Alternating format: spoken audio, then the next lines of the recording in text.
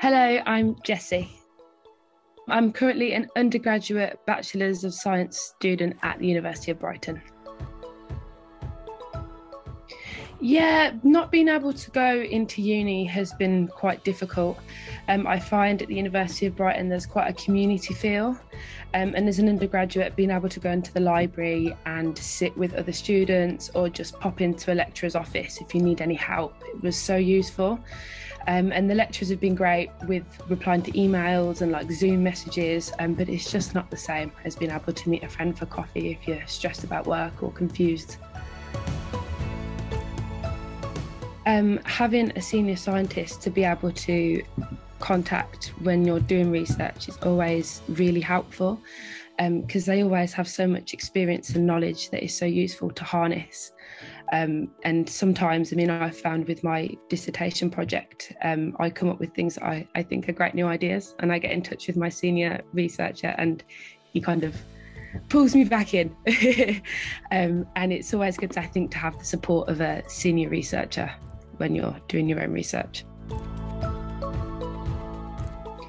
Um, I think perhaps the biggest thing um, at the moment is how we can improve air quality and reduce pollution um, the World the World Health Organization um, statistics at the moment, I think, are quite horrific. I mean, I don't have the numbers to hand, but the amount of people around the world that are living in air quality that is so detrimental to their health, um, I just think is shocking.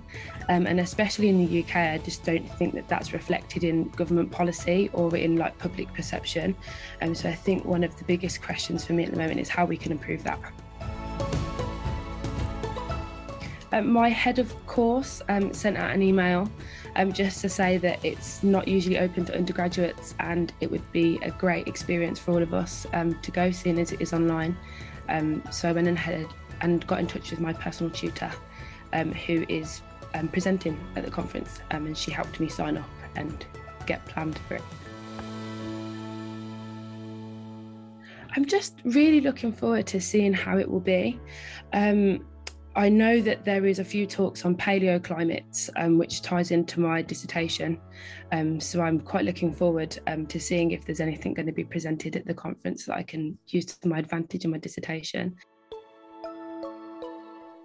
I'm just really hoping um, to kind of be inspired. Um, I'm at quite an in, like an important part time in my life at the moment. I've got six weeks left of my undergrad and I'm facing the decision of whether to continue with my academic career or go into a profession. Um, and I'm hoping to take home maybe a little bit more of an outlook on what I would like my life to be after uni and, and what it means to be an, an academic and a researcher.